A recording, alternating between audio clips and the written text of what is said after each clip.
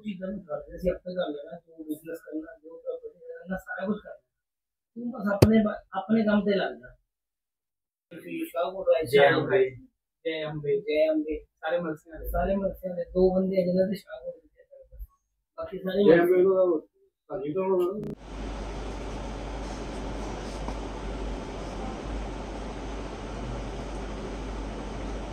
ਸੋ ਤੁਸੀਂ ਕਰਾ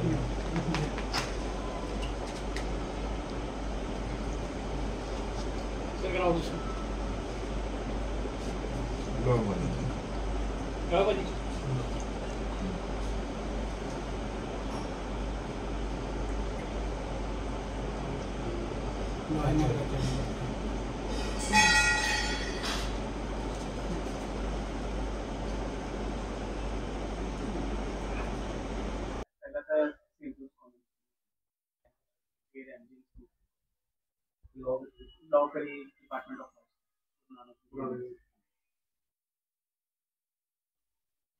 ਜੇਕਰ ਤੁਸੀਂ ਜ਼ਿੰਦਗੀ ਦੇ ਵਿੱਚ ਕੁਝ ਸੋਚਦੇ ਹੋ ਤਾਂ ਉਸ ਚੀਜ਼ ਨੂੰ ਪ੍ਰਾਪਤ ਵੀ ਕਰਦੇ ਹੋ।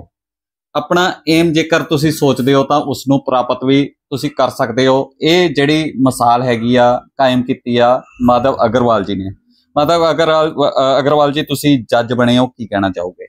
ਪਹਿਲਾਂ ਤਾਂ ਪਰਮਾਤਮਾ ਦਾ ਬਹੁਤ-ਬਹੁਤ ਆਭਾਰ ਵਿਅਕਤ ਕਰਨਾ ਚਾਹੂੰਗਾ, ਜਿਨ੍ਹਾਂ ਦੀ ਪਰਮਾਤਮਾ ਕਰਕੇ ਹੀ ਅੱਜ ਮੈਂ ਇਸ ਮੁਕਾਮ ਤੇ ਪਹੁੰਚ ਪਾਇਆ ਹਾਂ। ਉਸ ਤੋਂ ਬਾਅਦ ਤੁਹਾਡਾ ਬਹੁਤ-ਬਹੁਤ ਸ਼ੁਕਰਗੁਜ਼ਾਰ ਹਾਂ ਕਿ ਤੁਸੀਂ ਮੈਨੂੰ ਕਵਰ ਕਰਨ ਪਹੁੰਚੇ ਪਲੱਸ ਮੇਰੇ ਪੇਰੈਂਟਸ ਜਿਨ੍ਹਾਂ ਦਾ ਥਰੂ ਆਊਟ ਮੈਨੂੰ ਸਪੋਰਟ ਰਿਹਾ ਹੈ ਸਪੈਸ਼ਲੀ ਮੇਰੇ ਗ੍ਰੈਂਡਫਾਦਰ ਮੇਰੇ ਗ੍ਰੈਂਡਮਦਰ ਮੇਰੇ father throughout my journey ਉਹਨਾਂ ਦਾ ਮੈਨੂੰ ਬਹੁਤ ਸਪੋਰਟ ਰਿਹਾ। ਹੈ ਮੇਰੀ ਸਿਸਟਰ ਮੇਰੇ ਜੀਜਾ ਜੀ, ਉਹਨਾਂ ਦਾ ਮੈਨੂੰ ਬਹੁਤ ਸਪੋਰਟ ਰਿਹਾ। ਹੈ ਉਹਨਾਂ ਦਾ ਮੈਂ ਥੈਂਕਸ ਕਰਨਾ ਚਾਹੂੰਗਾ, ਜਿਨ੍ਹਾਂ ਕਰਕੇ ਅੱਜ ਮੈਂ ਇਸ ਮੁਕਾਮ ਤੇ ਪਹੁੰਚਿਆ ਹਾਂ ਮੇਰੇ ਚਾਰ ਭੂਆ ਜੀ ਨੇ, ਮੈਂ ਉਹਨਾਂ ਦਾ ਧੰਨਵਾਦ ਕਰਨਾ ਚਾਹੂੰਗਾ। ਕਦੇ ਮੈਨੂੰ ਮਾਂ ਦੀ ਕਮੀ ਨਹੀਂ ਮਹਿਸੂਸ ਹੋਣ ਦਿੱਤੀ। ਚਾਰਾਂ ਨੇ ਆਪਣੇ ਬੱਚੇ ਵਾਂਗ ਉਹਨਾਂ ਨੇ ਮੈਨੂੰ ਰੱਖਿਆ।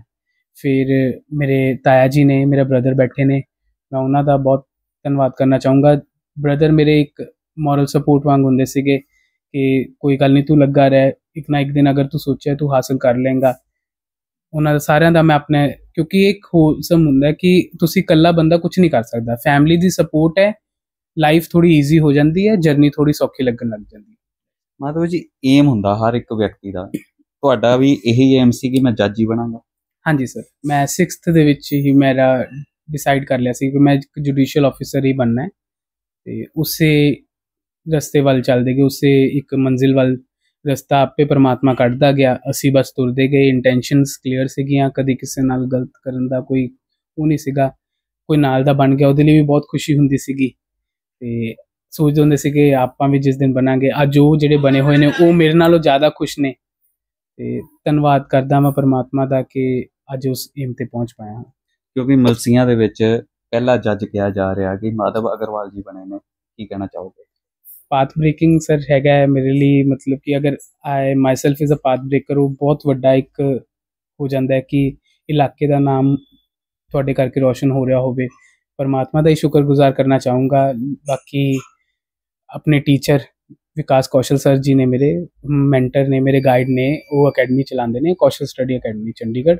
ਉਹਨਾਂ ਦਾ ਮੈਂ ਬਹੁਤ-ਬਹੁਤ ਸ਼ੁਕਰਗੁਜ਼ਾਰ ਹਾਂ। ਜਿਨ੍ਹਾਂ ਦੀ ਗਾਈਡੈਂਸ ਸਦਕਾ, ਜਿਨ੍ਹਾਂ ਦੀ ਮਿਹਨਤ ਸਦਕਾ, ਜਿਨ੍ਹਾਂ ਦੀ ਇੱਕ ਪਰਸਨਲ ਟੱਚ ਸਦਕਾ, ਜਿਨ੍ਹਾਂ ਨੇ ਮੈਨੂੰ ਇੰਨਾ ਮੋਟੀਵੇਟ ਕਰਿਆ, ਇੰਨਾ ਹੈਲਪ ਕਰਿਆ ਥਰੂ ਆਊਟ ਮਾਈ ਜਰਨੀ ਜਿੰਨੀ ਦੇਰ ਮੈਂ ਇਸ ਪੇਪਰ ਵੱਲ ਲੱਗਾ ਰਿਹਾ, ਅਗਰ ਕਿਸੇ ਨਾ ਕਿਸੇ ਵੇਲੇ ਜਿਵੇਂ ਅਗਰ ਹਰਿਆਣਾ ਮੇਨਸ ਨਹੀਂ ਕੁਆਲੀਫਾਈ ਹੋ ਪਾਇਆ ਸੀ ਲਾਸਟ ਟਾਈਮ ਫਿਰ ਪੰਜਾਬ ਇੰਟਰਵਿਊ ਦਿੱਤਾ ਸੀ, ਉੱਥੋਂ ਨਹੀਂ ਕੁਆਲੀਫਾਈ ਕਰ ਪਾਇਆ ਸੀਗਾ। ਸਰ ਨੇ ਕਿਹਾ, ਕੋਈ ਨਹੀਂ ਲੱਗੇ ਰਹੋ। ਆਪਣੇ ਸੁਸਾਇਟੀ 'ਚ ਵੀ ਇਹੋ ਜਿਹੇ ਮਿਸਾਲਾਂ ਨੇ ਜਿਨ੍ਹਾਂ ਨੇ ਦੋ ਦੋ ਤਿੰਨ ਤਿੰਨ ਵਾਰ ਪੇਪਰ ਦੇ ਕੇ ਨਿਕਾਲਿਆ ਸਰ ਉਹਨਾਂ ਦੀ ਮਿਸਾਲਾਂ ਕੋਟ ਕਰਦੇ ਹੁੰਦੇ ਸੀਗੇ, ਕੋਈ ਗੱਲ ਨਹੀਂ ਰੱਬ ਦੇ ਕਰੇ ਦੇਰ ਹੈ, ਪਰ ਅੰਧੇਰ ਨਹੀਂ ਹੈ। ਲੱਗਾ ਰਹਿ, ਕਿਸੇ ਨਾ ਕਿਸੇ ਦਿਨ ਇੱਕ ਮੁਕਾਮ ਤੇ ਪਹੁੰਚ ਜਾਏਗਾ ਤੇ ਪਰਮਾਤਮਾ ਦੀ ਕਿਰਪਾ ਨਾਲ ਸਰ ਦੇ ਆਸ਼ੀਰਵਾਦ ਨਾਲ ਸਰ ਦੀ ਗਾਈਡੈਂਸ ਦੇ ਨਾਲ ਅੱਜ ਮੈਂ ਉਹ ਮੁਕਾਮ ਹਾਸਲ ਕਰ ਪਾਇਆ। ਕਿਉਂਕਿ ਜਦੋਂ ਅਸੀਂ ਕੋਈ ਵੀ ਮੁਕਾਮ ਹਾਸਲ ਕਰਦੇ ਹਾਂ ਏਮ ਨੂੰ ਪੂਰਾ ਕਰਦੇ ਹਾਂ, ਤਾਂ ਸਾਨੂੰ ਬੜੀਆਂ ਮੁਸ਼ਕਲਾਂ ਦਾ ਵੀ ਸਾਹਮਣਾ ਕਰਨਾ ਪੈਂਦਾ। ਕਿਸ ਤਰ੍ਹਾਂ ਦਾ ਟਾਈਮ ਰਿਹਾ। ਪਰਮਾਤਮਾ ਦੀ ਕਿਰਪਾ ਨਾਲ ਆਪਣੀ ਲਾਈਫ ਨੂੰ ਹੁਣ ਤੱਕ ਬਹੁਤ ਇੰਜੋਏ ਕੀਤਾ ਹੈ। ਇੱਕ ਦੋ ਮਲਾਲ ਜ਼ਿੰਦਗੀ 'ਚ ਜਿਹੜੇ ਸੀ, ਉਹ ਤਾਂ ਰਹਿਣਗੇ। ਸਭ ਤੋਂ ਜ਼ਿਆਦਾ 2016 ਦੇ ਵਿੱਚ ਮੇਰੇ ਬੂਆ ਜੀ ਐਕਸਪਾਇਰ ਕਰ ਜਾਣਾ।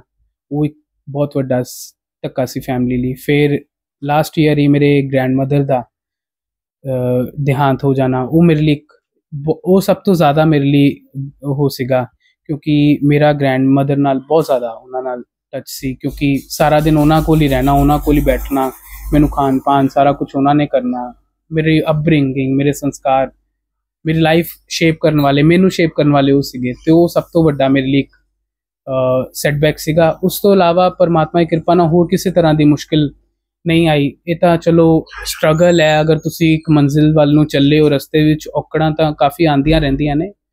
ਉਹਨਾਂ ਨੂੰ ਹੱਸ ਕੇ ਸਾਹਮਣਾ ਕੀਤਾ ਹੈ। ਹਰ ਇੱਕ ਚੀਜ਼ ਨੂੰ ਹੱਸ ਕੇ ਫੇਸ ਕੀਤਾ ਹੈ। ਤੇ ਫਾਈਨੈਂਸ਼ੀਅਲੀ ਪਰਮਾਤਮਾ ਦੀ ਕਿਰਪਾ ਨਾਲ ਸਭ ਕੁਝ ਸੀਗਾ। ਆਪਣੀ ਬਸ ਇੱਕ ਲਗਨ ਨਾਲ ਲੱਗੇ ਰਹੇ ਆ ਤੇ ਅੱਜ ਇਸ ਮੁਕਾਮ ਤੇ ਪਹੁੰਚ ਗਏ ਸਰ ਕਿਉਂਕਿ ਕਈ ਵਾਰ ਦੇਖਣ ਜਾਂਦਾ ਕਿ ਬੰਦਾ ਏਮ ਜਦੋਂ ਪੂਰਾ ਕਰਦਾ ਹੈਗਾ ਵਾ ਤੇ ਉਹ ਭਟਕ ਵੀ ਜਾਂਦਾ ਆ। ਕੀ ਇਹ ਕੀ ਕਹਿਣਾ ਚਾਹੋਗੇ? ਸਰ ਮੈਂ ਕਲੀਅਰ ਸੀ। ਕਦੇ ਵੀ ਮਤਲਬ ਕਿ ਸੈਕਿੰਡ ਥਾਟ ਕਿਸੇ ਆਇਆ ਨਹੀਂ। ਚਲੋ ਲਾਸਟ ਟਾਈਮ ਪੰਜਾਬ ਵੇਲੇ ਇੱਕ ਥੋੜਾ ਜਿਹਾ ਸੀਗਾ ਕਿ let's aim for something else ਅਗਰ ਇਹ ਨਹੀਂ ਹੋ ਪਾ ਰਿਹਾ। ਉਹਦੇ ਲਈ ਵੀ ਸਰ ਨੇ ਫਿਰ ਮੈਨੂੰ ਕਾਫੀ ਮੋਟੀਵੇਟ ਕਰਿਆ। ਮੇਰੇ ਗ੍ਰੈਂਡਫਾਦਰ ਦਾ ਬਹੁਤ ਵੱਡਾ ਹੱਥ ਸੀਗਾ ਮੈਨੂੰ ਦੁਬਾਰ ਤੋਂ ਇਸ ਪਾਸੇ, ਦੁਬਾਰਾ ਤੋਂ ਇਸ ਪਾਸੇ ਲਗਾਉਣ ਵਾਸਤੇ। ਮੇਰੇ ਗ੍ਰੈਂਡਫਾਦਰ ਦਾ ਬਹੁਤ ਜ਼ਿਆਦਾ ਸਪੋਰਟ ਸੀਗਾ। ਮੇਰੇ ਚਾਚਾ ਜੀ ਉਨ ਸੁਖਵੰਤ ਜੀ। ਸੋਨੂ ਚਾਚਾ ਜੀ, ਉਹਨਾਂ ਦਾ ਬਹੁਤ ਮੈਨੂੰ ਸੀਗਾ। ਫਿਰ ਮੇਰੇ ਤਾਇਆ ਜੀ, ਉਹਨਾਂ ਦਾ ਮੈਨੂੰ ਬਹੁਤ ਸਪੋਰਟ ਸੀਗਾ। ਕਹਿੰਦੇ, ਨਹੀਂ ਬੇਟੇ, ਆਪਾਂ ਕਰਨਾ ਹੈ। ਉਹ ਇੱਕ ਸੈਟਬੈਕ ਸੀਗਾ। ਉਸ ਤੋਂ ਇਲਾਵਾ ਕਿਸੇ ਵੀ ਤਰ੍ਹਾਂ ਦਾ ਹੈ ਨਹੀਂ ਸੀਗਾ। ਆਪਾਂ ਨੂੰ ਪਤਾ ਸੀ ਕਦੇ ਕੋਈ ਭਟਕਣਾ, ਕਿਸੇ ਦੀ ਲਾਈਫ ਕੋਈ ਮਤਲਬ ਕਿ ਕਦੇ ਨਹੀਂ ਆਈ। ਮੈਨੂੰ ਕਿਸੇ ਤਰ੍ਹਾਂ ਦਾ ਡੀਰੇਲਿੰਗ ਜਾਂ derouting my path was never like in my life I was aim ਮੇਰੇ ਇੱਕ ਏਮ ਫਿਕਸ ਸੀਗਾ ਮਾਈਂਡ ਦੇ ਵਿੱਚ। and uh, I worked towards it. And uh, finally, with, with the grace of God, uh, I have achieved what I aimed for. Family ਦੇ ਵਿੱਚ ਪਹਿਲਾਂ ਵੀ ਕੋਈ ਜੱਜ ਹੈ ਫੈਮਿਲੀ ਸੇ ਸੌਰੀ ਇਸ ਤਰ੍ਹਾਂ ਮਤਲਬ ਕਿ ਫਰਸਟ ਇਨ ਦ ਫੈਮਿਲੀ ਅਗਰ ਮੈਂ ਦਾਦ ਕੇ ਸਾਈਡ ਦੀ ਗੱਲ ਕਰਾਂ first in the family am the first family ਸਾਰੀ ਕੀ ਕਰ ਰਹੀ ਹੈ ਸਰ ਫੈਮਿਲੀ ਸਾਰੀ ਬਿਜ਼ਨਸ 'ਚ ਹੈ ਬਾਕੀ ਮੇਰੇ ਕਜ਼ਨਸ ਨੇ ਉਹ ਮੈਕਸਿਮਮ ਡਾਕਟਰਸ ਨੇ ਮੇਰੇ ਭੂਆ ਜੀ ਦੇ ਬੱਚੇ ਪੰਜ ਬੱਚੇ ਡਾਕਟਰਸ ਨੇ ਇੱਕ ਮੇਰਾ ਬ੍ਰਦਰ ਦੋ ਮੇਰੇ ਬ੍ਰਦਰ ਬਿਜ਼ਨਸ ਕਰਦੇ ਨੇ ਕਜ਼ਨਸ ਇੱਕ ਛੋਟਾ ਹੈ ਮੇਰੇ ਬ੍ਰਦਰ ਸਾਹਮਣੇ ਬੈਠੇ ਨੇ ਤਾਇਆ ਜੀ ਦੇ ਬੇਟੇ ਵੀ ਬਿਜ਼ਨਸ ਕਰਦੇ ਨੇ ਤੇ ਖੁਦ ਫਰਸਟ ਇਨ ਦ ਫੈਮਿਲੀ ਹੈ ਸਰ। ਨੌਜਵਾਨ ਨੂੰ ਕੀ ਮੈਸੇਜ ਦੇਣਾ ਚਾਹੋਗੇ? ਨੌਜਵਾਨ ਨੂੰ ਸਰ ਇੱਕੋ ਹੀ ਮੈਸੇਜ ਹੈ ਸਕਾਈ ਇਜ਼ ਦੀ ਲਿਮਿਟ ਜਿੱਥੋਂ ਤੱਕ ਤੁਹਾਡੀ ਸੋਚ ਜਾ ਸਕਦੀ ਹੈ ਉੱਥੋਂ ਤੱਕ ਅਚੀਵੇਬਲ ਹੈ ਲਾਈਫ ਦੇ ਵਿੱਚ। Think big go for the big Madhav ji the family ਵੀ ਸਾਡੇ ਨਾਲ ਗੱਲ ਕਰਾਂਗੇ ਕੀ ਕਹਿਣਾ ਚਾਹੋਗੇ? ਕਿਉਂਕਿ ਅੱਜ ਇੱਕ ਬਹੁਤ ਹੀ ਮਹੱਤਵਪੂਰਨ ਦਿਨ ਕਹਿ ਸਕਦੇ ਹਾਂ। ਕੀ ਕਹਿਣਾ ਚਾਹੋਗੇ? ਹਾਂ, ਅੱਜ ਦੇ ਦਿਨ ਚ ਪਹਿਲਾਂ ਤਾਂ ਮੈਂ ਸਭ ਤੋਂ ਜ਼ਿਆਦਾ ਪ੍ਰਮਾਤਮਾ ਦਾ ਧੰਨਵਾਦ ਕਰਦਾ ਜਿਨੇ ਇੰਨੀ ਅਪਾਰ ਬਖਸ਼ਿਸ਼ ਸਾਡੇ ਤੇ ਕੀਤੀ ਹੈ। ਸਾਡੇ ਬੱਚੇ ਨੂੰ ਮਲਸੀਆਂ ਨਗਰ ਦਾ ਪਹਿਲਾ ਜੱਜ ਹੋਣ ਦਾ ਮਾਣ ਬਖਸ਼ਿਆ। ਪ੍ਰਮਾਤਮਾ ਦੀ ਯਾਰਾਂ ਦੋਸਤਾਂ ਦੋਸਤਾਂ ਦੀਆਂ ਦੁਆਵਾਂ ਦਾ ਅਸਰ ਹੈ। ਇਹ ਸਾਰਾ ਜੋ ਕੁਝ ਵੀ ਹੈ, ਸਾਡੇ ਪਰਿਵਾਰ ਤੇ ਕਿਰਪਾ ਕੀਤੀ ਹੈ। ਸਾਡਾ ਪਰਿਵਾਰ ਬਿਜ਼ਨਸਮੈਨ ਫੈਮਿਲੀ ਹੈ। ਅਸੀਂ ਪਿਛਲੇ ਬਹੁਤ ਲੰਬੇ ਸਮੇਂ ਤੋਂ ਇੱਥੇ ਰਹਿ ਕੇ ਆਪਣਾ ਬਿਜ਼ਨਸ ਕਰਦੇ ਹਾਂ। ਮੇਰੇ ਤਾਇਆ ਜੀ ਵਾਈਸ ਚੇਅਰਮੈਨ ਰਹੇ ਨੇ ਮਾਰਕੀਟ ਕਮੇਟੀ ਦੇ ਪੋਲੀਟੀਕਲ ਸਰਪੰਚ ਰਹੇ ਨੇ 35 ਸਾਲ। ਪਰਮਾਤਮਾ ਦੀ ਇਸ ਬੱਚੇ ਦੀ ਲਗਨ ਸੀ, ਮੈਂ ਉਧਰ ਜਾਣਾ ਤੇ ਪਰਿਵਾਰ ਤੇ ਯਾਰਾਂ ਦੋਸਤਾਂ ਦਾ ਦੁਆਵਾਂ ਸੀ, ਜਿਨ੍ਹਾਂ ਨੇ ਇਸ ਪਾਸੇ ਨੂੰ ਭੇਜਿਆ। ਇਹਦੇ ਜਿੱਥੋਂ ਇਹਨੇ ਕੋਚਿੰਗ ਲਈ ਆ, ਕੌਸ਼ਲ ਅਕੈਡਮੀ ਤੋਂ, ਉਹਨਾਂ ਦਾ ਸਾਡੇ ਨਾਲ ਬਹੁਤ ਸਹਿਯੋਗ ਰਿਹਾ, ਜਿੰਨੀ ਮਿਹਨਤ ਉਹਨਾਂ ਨੇ ਕਰਾਈ ਆ ਕੋਈ ਨਹੀਂ ਕਰਵਾ ਸਕਦਾ। ਉਹਨਾਂ ਦਾ ਉਹਨਾਂ ਦੇ ਅਸੀਂ ਬਹੁਤ ਜ਼ਿਆਦਾ ਰਿਣੀ ਆ ਕਿ ਉਹਨਾਂ ਨੇ ਇਸ ਬੱਚੇ ਨੂੰ ਜਦੋਂ ਇਹਦਾ ਪੰਜਾਬ ਦਾ ਲਾਸਟ ਟਾਈਮ ਰਿਹਾ ਤੇ ਕੌਸ਼ਲ ਸਰ ਦੇ ਕੋਲ ਮੈਂ ਗਿਆ ਤੇ ਕਹਿੰਦੇ ਨਹੀਂ ਆਪਾਂ ਮਾਧਵ ਨੂੰ ਜੱਜ ਬਣਾਉਣਾ ਆ ਬਣਾ ਕੇ ਹੀ ਰਵਾਂ ਜੱਜ ਸਾਹਿਬ ਬਣ ਚੁੱਕੇ ਨੇ। ਭਾਈ ਸਾਹਿਬ ਕੀ ਕਹਿਣਾ ਚਾਹੋਗੇ? ਹਾਂਜੀ।